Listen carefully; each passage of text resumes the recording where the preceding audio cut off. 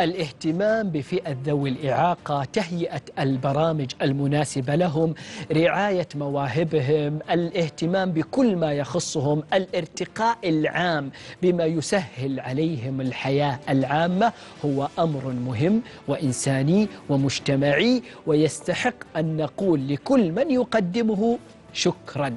مركز الرعاية المتطورة منذ عشرين عاما تقريبا وهو يصنع الحلول في هذا المجال بل يطور من الخدمات المقدمة ويرفع شعارا مضيئا. معا نجعل من الإعاقة انطلاقة. سنتحدث عن جهود هذا المركز وما يقدمه مع الأستاذ محمد الشريف رئيس مجلس إدارة مراكز الرعاية المتطورة للرعاية النهارية والذي يشرفنا اليوم في استوديو يا هلا. أستاذ محمد مساء الخير. هلا حبيبي. أول شيء بسم الله الرحمن الرحيم. والحمد لله والصلاة والسلام على رسول الله. أول شيء أشكركم على الاستضافة. وأشكر حرصكم الدائم على الأمور الإنسانية والاجتماعية. أحنا نشكرك على قبول هذه الدعوة ويمكن كنا نتكلم قبل الهوا وقلت لك إنه قدمنا كم حلقة عن هذا الموضوع لكن كل مركز عنده ما يميزه. اليوم أهم الخدمات اللي يقدمها المركز. طبعا أول شيء الشكر لمملكة الإنسانية التي لا تألو جهدا في دعم هذه الفئة الغالية على قلوبنا جميعا منذ التأسيس. طبعا الدولة داعمة من خلال الموارد البشرية في إشرافها من خلال وضع اللجان وضع اللوائح وكذا على هذه المراكز لكي تقدم الخدمات للأبناء فوق سن 12 سنة أو الأبناء في سن من من سنتين إلى 12 سنة. جميل أنتم إيش أهم الخدمات اللي عندكم طبعًا. أنا أعرف إن عندكم عيادة عندكم تعليم طبعا عندكم نعم صحة. نعم طبعا الخدمات اللي نقدمها في المركز أو تقدمها المراكز بشكل عام تقدم خدمات العلاج الطبيعي خدمات التخاطب والنطق واللغة العلاج الوظيفي خدمات التعليمية والدراسية للأبناء وأيضا المواصلات والرحلات والزيارات والشيء المهم اللي نضع تحته خطين دمجهم في المجتمع لأنهم هم يفتقدون خاصة في اللي نقد اللي الطلبة اللي موجودين عندنا يفتقدون ليه؟ لأنه هو وصل ل 12 سنة تعرف الابن في بدايته تلقى الأسرة يعني أنا بتكلم لك كولي أمر وكمدير وكلها طبعا الابن في البداية الأهل يهتموا ويودوا يسفروا ويودوا يحاولوا يعالجوا لما يوصل 10 11 12 سنة يبدأ إيش؟ الاهتمام يقل، المراكز تكمل هذا الدور بالموضوع المهم جدا دمجهم في المجتمع. جميل. وهذه أهم ما في الموضوع. وبنيجي للآلية اللي دمجتوا فيها بس اسمح لي أخذك شوي إلى جانب شخصي. غير أنك مختص في مثل هذا الموضوع نعم. هنالك قصة شخصية وراء تبنيك لهذا الموضوع من 20 سنة تتحدث بابن أخوك اللي بمثابة ابنك. نعم. وأعتقد أنه كان هو الدافع والحافز لهذا الموضوع. قلنا القصة هذا باختصار. هذا الباب. طبعا الولد هذا يعني هو ولد أخونا زي ولدي يعني وأنا اللي مربيه في عام تقريبا 1418 أنا وديته دولة عربية بحيث إنه يعني كان ما كان في مراكز ولا كان في يعني كان الموضوع بسيط جدا. فودينا لدولة مجاورة وجلس فيها تقريبا خمس ست سنوات. فكنت أزوره كل شهر كل نهاية شهر كنت أروح أزوره. فدائما كنت يعني أصطدم إني لازم أنتظر عند الباب نص ساعة 20 دقيقة. ففكرت ليه يعني؟ ليش ليش جالس؟ فيوم من الأيام يعني سويت مغامرة ونطيت من فوق السور ودخلت. فلما دخلت طبعا إحنا أول لما نجي النص ساعة هذه يتجهز فيها. يغسلوا ويرتبوا ويلمعوا وكذا ويجيبون لك ولي امره يعني. هذه مناشدة برضه لاولياء أمور لازم ينتبهوا للنقطة هذه. هذه النقطة مهمة جدا. إنه تدخل تلقى الولد ما شاء الله معطر ومرتب وكذا فأنت تطمن يعني. ولكن الموضوع هذا فيه طبعا الوازع الديني مهم يعني.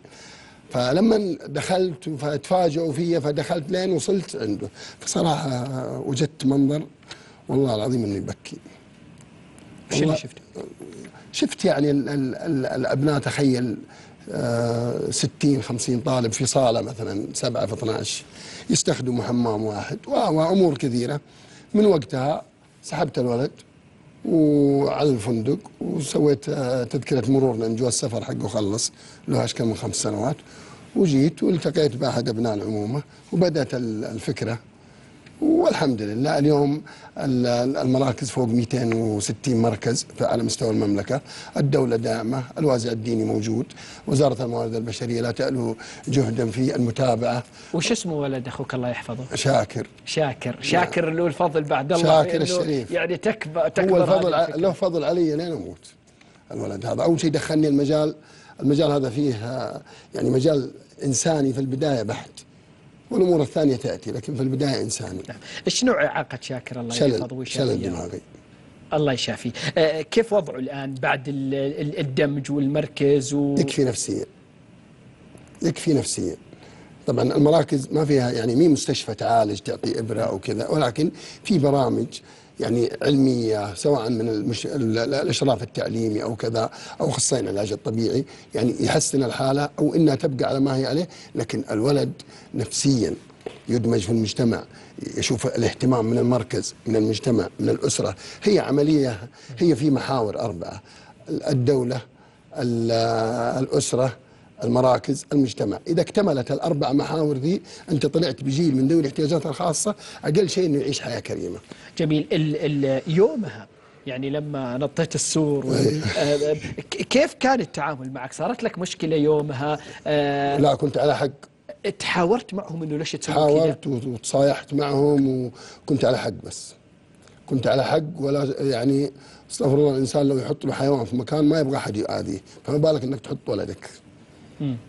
ولدك انت تحطه في مكان تجي يعني ما تقدر تدخل المكان سواء من الريحه أو من المنظر المنظر كان جدا سيء. أنا اناشد أولياء الأمور أما إنهم يهتمون في الجانب ذا خاصة اللي عندهم أبناء برا وقادر إنه يجيبوا هنا ويدخلوا مركز. يا أخي ولي الأمر ليه ما يشارك في العملية؟ يعني أنا ما أتنصل من الموضوع.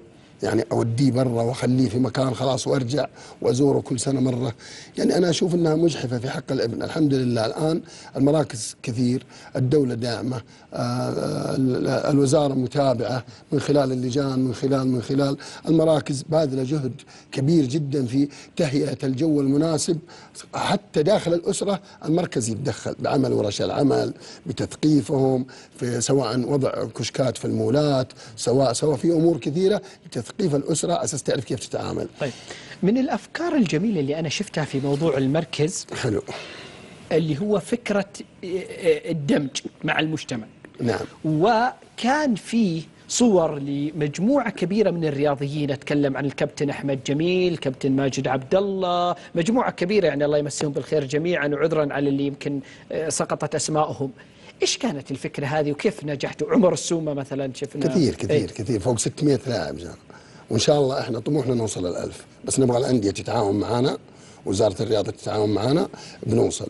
ليه ركزتوا على اللاعبين؟ يعني ليش ما هم عندهم؟ شغف. الابن يعني الابن إحنا لا نجي نقول الابن المعاق أول أول شوف يعني خليني أتكلم لك عن الموضوع يعني معليش شوية. أي. أول لما نكون في مول ولا في سوق ولا في حاجة ونشوف مثلا آه، ابن معاق الكل يتفرج فيه الكل شوفوا شوفوا الآن تغيرت الفكرة صار الموضوع عادي طبيعي. صار الموضوع طبيعي. ليه؟ لأنه ترى المراكز لها دور كبير.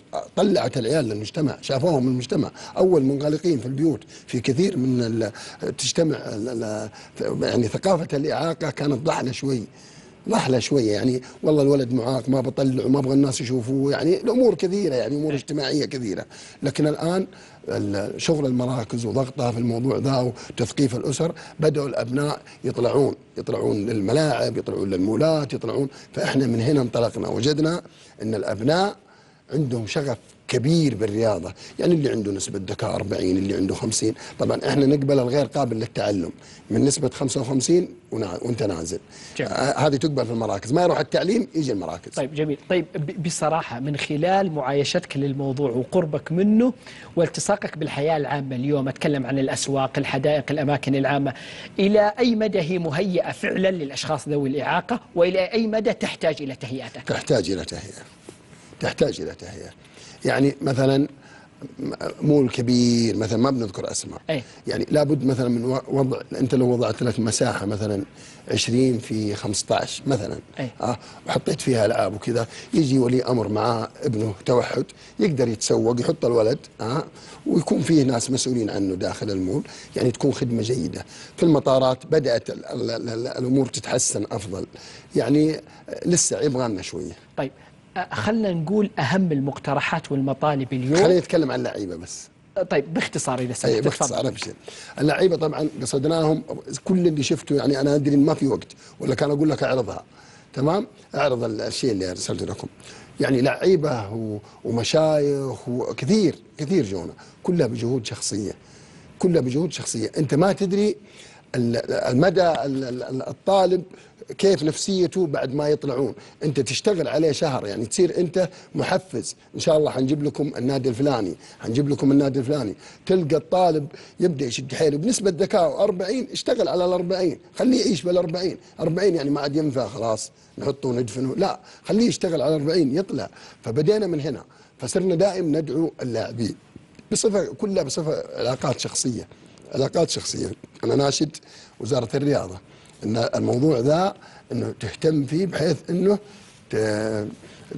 يعني أما في حوكمتها أو في شغلها تضع بند إنه ال- النادي في دعمه أو في شيء إنه يا الدعم لازم يكون لك مشاركات اجتماعية مع مراكز معاقين واضح. مع أيتام مع مع مع كذا المطالبات والمقترحات طبعا القطاع تنموي الآن الموظفين السعوديين في القطاع يتجاوزون تقريبا 18 ألف موظف وموظفة.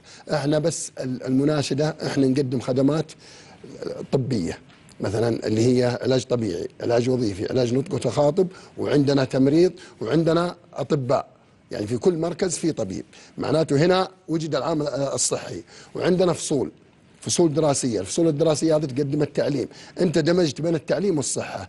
لماذا لا يكون لنا يعني أول شيء أناشد هيئة الزكاة إعفاء المراكز إعفاء صريح من الضريبة أسوة بالتعليم والصحة. هذه مناشدة وإن شاء الله بإذن الله أنها تلقى صدى وأنا عارف أنهم مهتمين يمكن أكثر مني.